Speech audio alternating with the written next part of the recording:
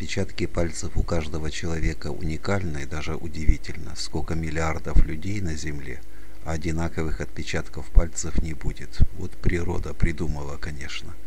И в России соберут отпечатки пальцев у всех жителей. Это новость от 22 ноября 2020 года.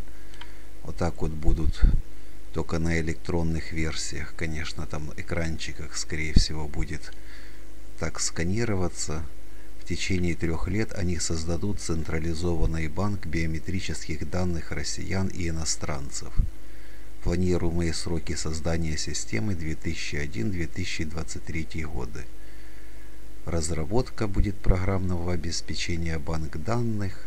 Но главное, чтобы никто не похитил из того банка данных отпечатки, потому что можно специальная пленка есть, тот отпечаток потом на ту пленку наносится с помощью специального принтера, и можно идентифицировать себя как в кинофильмах, и на двери какой-то там электронный замок, и в супермаркете приложить там, где считывающая биометрия есть, как банком рассчитываться. За рубежом уже показали такие вот блогеры, что так можно сделать на такую пленку. Печатается отпечаток, клеите на палец и идете в магазин или куда-то там в Германии они рассчитываются. А так могут и на месте преступления ваш отпечаток потом сделать.